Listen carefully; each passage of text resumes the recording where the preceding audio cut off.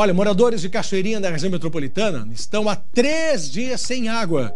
Os comerciantes do bairro também estão penando, o bairro que foi atingido, e esses comerciantes já estão acumulando prejuízos.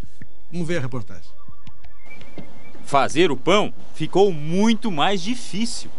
Nós temos que parar, buscar o negócio lá, pegar bombona, encher d'água, trazer. Isso já é prejuízo para nós.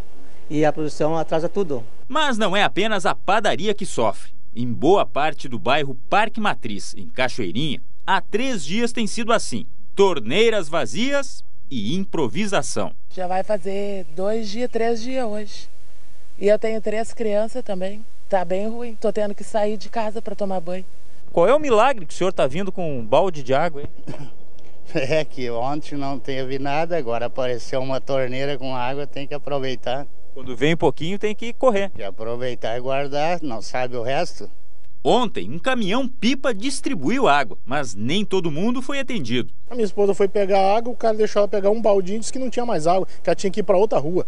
Não, a mulher tá com um balde na mão, rapaz, e o cara faz ela dizer que tem que ir para outra rua. O André juntou garrafas para se socorrer na casa da mãe. Só que lá, o pouco de água que tem foi acumulado durante a noite. A senhora está aqui na missão de repartir a água. De dividir, é isso mesmo, de dividir. Me levantei cedinho para juntar esse pouquinho, não tem mais. Quem pode, apela para o uso de água mineral. Isso se houver o produto. Neste supermercado, por exemplo, o estoque está terminando. Um local foi apontado como possível responsável pela fuga d'água que causou o transtorno. Hoje pela manhã, funcionários aguardavam a ordem da Corsan para o trabalho. A empresa, no entanto, diz que o problema já foi identificado e promete a normalização nas próximas horas. Os moradores esperam que não seja apenas mais uma promessa. Ontem falaram que era sete da manhã da noite. Não é. Aí liguei para lá, eu liguei da minha casa para lá ontem, ligaram que era às 23. Já não é. Então, dou informação errada, fica meia hora esperando que 0800 te atender. Como eu tenho o, o aplicativo da Corsan, eles mandaram que haveria oscilações nesse período. Só que acabou, acabou mesmo, acabou a água total.